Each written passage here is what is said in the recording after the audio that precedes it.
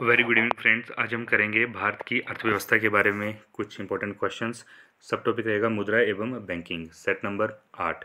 सभी question most important हैं। ऐसे क्वेश्चन इक्का दुक्का आपके एग्ज़ाम में देखने को अपेयर हो जाते हैं मुद्रा व बैंकिंग साइड से। लेकिन इंपॉर्टेंट टॉपिक है भी, ठीक है? तो वीडियो को पूरा देखिए। वीडियो अच्छी लगे तो वीडियो को आप लाइक ज़रूर कीजिए। कोई डाउट हो कमेंट कीजिए। और यदि आप इस चैनल पर अभी आप नए हैं तो प्लीज़ आप चैनल को सब्सक्राइब ज़रूर करें। यहाँ पर आपको 360 डिग्री स्टैटिक जीके कवरेज मिलेगी। Ancient Indian history medieval Indian history polity art and culture geography world geography इस तरह के तमाम टॉपिक आपको यहाँ देखने को मिलेंगे plus up to plus two standard science in everyday life physics chemistry bio सब टॉपिक और चैप्टर वाइज सारा सिलेबाई आपको यहाँ पर मिलेगा। वीडियो स्टार्ट करते हैं। फ़र्स्ट क्वेश्चन है आज की वीडियो का। घाटे की वित्त व्यवस्था में व्यय और राजस्व का अंतर, अतिरिक्त कागज़ी मुद्रा छापकर पाटते हैं। इस युक्ति का उद्देश्य आर्थिक विकास है। परंतु यदि ये विफल हुई तो इसमें से कौन सी स्थिति उत्पन्न होती है? तो देखिए, अगर घाटे की वित्त व्यवस्था में व्यय जो एक्सपेंडिचर है और जो राजस्व है रेवेन्यू उसका अंतर अतिरिक्त कागज़ी मुद्रा छाप कर पाटते हैं, इस युक्ति का उद्देश्य आर्थिक विकास है। परंतु अगर ये डैमेज होती है, जो पॉलिसी है, जो युक्ति है तो इससे मुद्रास्फीति की स्थिति उत्पन्न होती है। तो right answer option number C आगे बात करते हैं वे वर्ग कौन सा है जो मुद्रास्फीति के कारण सबसे अधिक प्रभावित होता है यानी हानि होती है जिसको सबसे ज़्यादा? तो देखिए आंसर है इसका देनदार। जिस व्यक्ति ने उधार दे रखा है, वो मुद्रास्फीति के कारण सबसे अधिक हानि में जाता है। तो यहाँ राइट आंसर हो जाएगा ऑप्शन नंबर फ़र्स्ट देनदार। आगे मूव करते हैं थर्ड क्वेश्चन मुद्रास्फीति से लाभान्वित कौन होता है? तो देखिए मुद्रास्फीति से लाभान्वित होने वाला जो वर्ग है वो है ऋणी वर्ग, जिसने ऋण ले रखा है, ठीक है? इससे मुद्रास्फीति से लाभान्वित होता है, ठीक है? आगे बात करेंगे, मुद्रास्फीति की उच्च दर और बेरोजगारी की उच्च दर की एक साथ उपस्थिति को क्या कहते हैं, ठीक है? देखिए, अगर मुद्रास्फीति हाईएस्ट दर पर है, रेट पर है और बेरोजगारी भी उच्च दर पर है तो ऐसी स्थिति को कहते हैं स्टैगफ्लेशन, ठीक है? तो राइट आंसर यहाँ पर हो जाएगा ऑप्शन नंबर बी, स्टैगफ्लेशन। आगे मूव करेंगे फिफ्थ क्वेश्चन की ओर। मुद्रास्फीति को इनमें से किसके द्वारा रोका जा सकता है? देखिए, मुद्रास्फीति को रोकने के लिए बचत का बजट, प्रत्यक्ष कराधान में वृद्धि, सरकारी व्यय में कटौती, ये तीनों कारक हैं इसके, ठीक है? इन सभी से मुद्रास्फीति को रोका जा सकता है। आगे मूव करेंगे, कौन मुद्रास्फीति के नियंत्रण की विधि नहीं है, ठीक है? तो मुद्रास्फीति को कंट्रोल करने का मेथड ब्याज दर में कमी बिल्कुल नहीं है, ठीक है? हालाँकि मांग पर नियंत्रण मुद्रा की पूर्ति पर नियंत्रण, वस्तुओं की राशनिंग। ये तीनों नियंत्रण की विधियाँ हैं, लेकिन ब्याज दर में कमी कर देना मुद्रास्फीति के नियंत्रण की विधि नहीं है। आगे मूव करते हैं। सेवन्थ क्वेश्चन भारत में मुद्रास्फीति ज्ञात करने के लिए किसका प्रयोग किया जाता है? देखिए, भारत में मुद्रास्फीति ज्ञात करने के लिए थोक मूल्य सूचकांक का प्रयोग किया जाता है। ठीक है तो right answer option number C हो जाएगा। आगे मूव करेंगे। भारत में मुद्रास्फीति मापी जाती है। अगेन क्वेश्चन इस तरह से भी अपेयर हो सकता है। तो भारत में मुद्रास्फीति का जो पैमाना है, जो माप है, वो है थोक मूल्य सूचकांक। तो राइट आंसर हो जाएगा ऑप्शन नंबर फ़र्स्ट आगे मूव करेंगे। नाइन्थ क्वेश्चन मुद्रास्फीति की शून्य दर उस वर्ष में अवश्य मानी जाती है। जब? तो देखिए, मुद्रास्फीति की शून्य दर, यानी ज़ीरो रेट उस वर्ष में अवश्य माना जाता है। जब? वर्ष के प्रत्येक सप्ताह में मुद्रास्फीति की वार्षिक दर शून्य हो।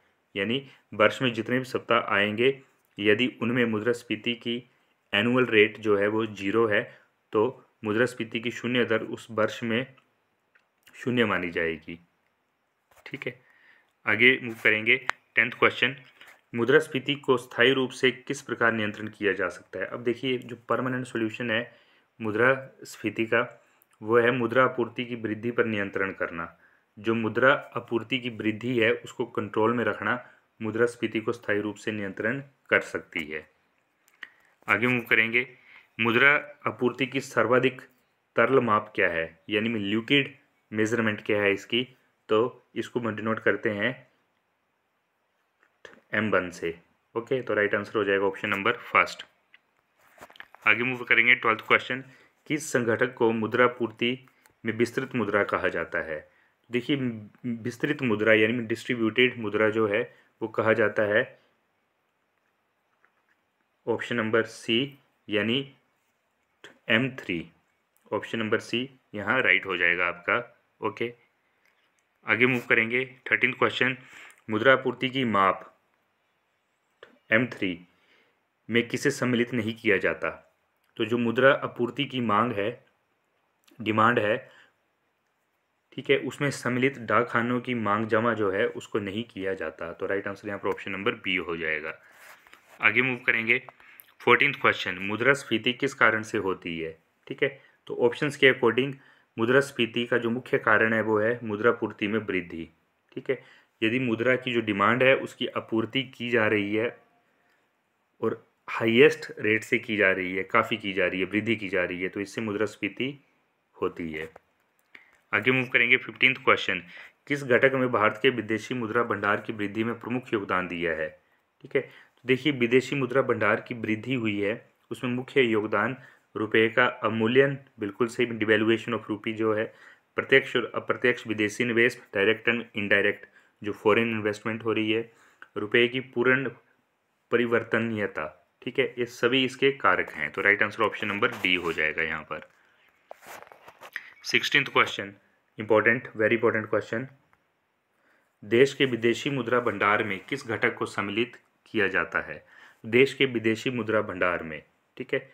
फॉरेन मुद्रा भंडार जो है, उसमें आरबीआई की विदेश मुद्रा परिसंपत्तियाँ आरबीआई का स्वर्ण भंडार, रुपए की पूर्ण परिवर्तनीयता, इन सभी को शामिल किया जाता है। तो right answer option number D हो जाएगा। आगे मूव करेंगे। सेवनटीन क्वेश्चन भारतीय मुद्रा रुपया की आधिकारिक विनिमय दर संबंधित है किससे? देखिए, भारतीय मुद्रा जो है, वो है रुपया। इसकी आधिकारिक विनिमय दर, ठीक है, वो है चुनी हुई विदेशी मुद्राओं के समूह से। तो right answer option number D हो जाएगा। आगे मूव करेंगे।